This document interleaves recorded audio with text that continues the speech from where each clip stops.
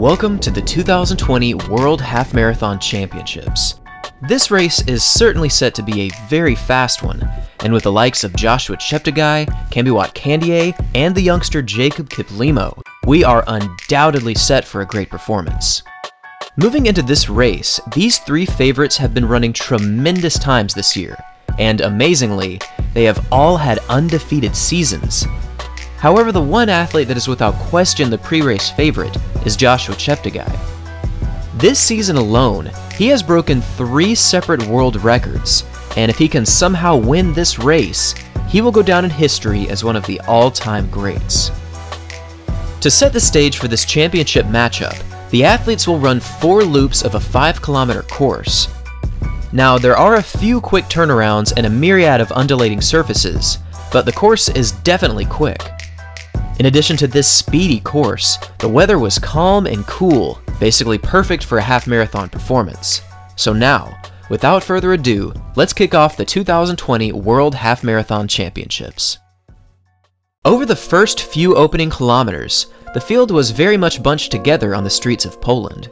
Around the 5 minute mark, Julian Wanders from Switzerland pushed the pace forward ever so slightly, but soon after he settled back in with the rest of the pack. These opening stages were mostly the athletes settling into their racing rhythm, and with an opening 5 kilometer split of 14 minutes and 19 seconds, the field was still extremely large through this opening 5k. Now, in yesterday's pre-race video, we talked about a potential world record performance here. However, even after this opening 5,000 meters, it was apparent that the world record was not under attack. To give you more perspective on the matter, through the opening 5K, the field was already 30 seconds behind the world record pace of Geoffrey Kamworor. So if they were looking to approach this time of 58 minutes and 1 second, they would need to drastically increase the pace very quickly. However, this did not happen, but the field continued to run very solid through these opening stages. By 20 minutes, the field was still quite large, and tucked away running very comfortably was Joshua Cheptegei from Uganda.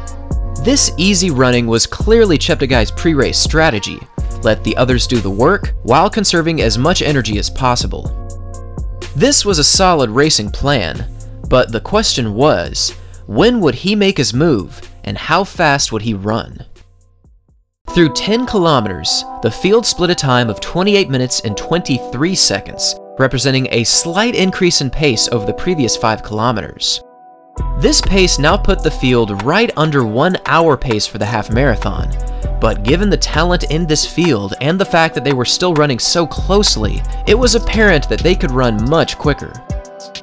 At this point, many still looked extremely fresh, including Guye Adola from Ethiopia, and also Jacob Kiplimo, who was running so effortlessly. I mean, look at his face. It seemed as though he was hardly even breathing at this point in the race. Now, it is important to remember, these athletes were still running very fast. Even though it may look as though they're practically jogging, they're still running around 4 minutes and 30 seconds per mile, or just under 2 minutes and 50 seconds per kilometer. With such a fresh looking field still running solid, it was now a question of when the break would happen and which runners would take the lead. Just before the 15 kilometer split, the athletes started opening up their strides and slightly increasing the pace. Also, can we take a moment to appreciate how gorgeous this ocean front running is? I mean, this is awesome. Through 15 kilometers, Kibiwott Kandie split a time of 42 minutes and 17 seconds. This split represented the first time any athlete had run under 14 minutes for a 5k split. And with this quick 1354, the field finally started to spread out. Indeed, there was now a little bit of a gap between the front 10 athletes, but no big move was made, just a small surge to test out the field. Now with less than 15 minutes remaining, it was down to Kiplimo, Kandie, and Joshua Cheptegei. These three were my pre-race picks to make the podium, and now it was finally time to watch the race unfold. Over the next few minutes, the young 19-year-old Jacob Kiplimo started to open up some distance on the rest of the field. This was amazing to see, because he really did look effortless, despite running well under 4 minutes and 30 seconds per mile. Over the span of just a few minutes, Kiplimo had gapped Joshua Cheptegei, who was now being passed by his fellow Ethiopian rival. This was a completely unforeseen moment for Cheptegei. For this entire season and much of 2019, he had maintained an undefeated streak that blew the minds of many around the world. And even though he seemed invincible before this race, he was falling off the pace, and unfortunately, it appeared as though Cheptegei would have to take his first defeat in over a year. Now the race was down to Jacob Kiplimo and Kibiwott Kandie. These two runners were completely flying up in the lead, and with such a big gap on the rest of the field, I could not help but think about the last time these two athletes competed.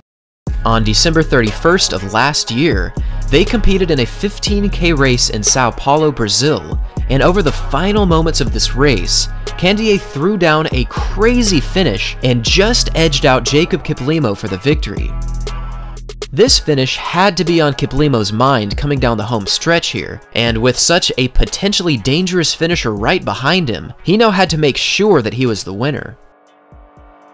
Through the 20 kilometer mark, Kiplimo split a time of 55 minutes and 55 seconds, and for his last 5 kilometers, he ran a time of 13 minutes and 38 seconds, which meant that he ran his last 3 miles at a pace of 4 minutes and 23 seconds per mile. This 19 year old was moving.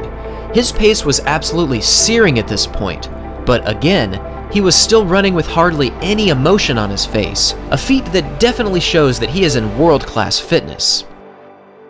Over the final moments of this race, it seemed as though Kandie was making a move to get back at Kiplimo. But once Kiplimo reached the finishing stretch, it was finally apparent that he would be the ultimate winner. With a finishing time of 58 minutes and 49 seconds, Kiplimo not only won the World Half Marathon Championships at just 19, but he actually broke the World Championship record previously held by Geoffrey Kamworor back from 2014.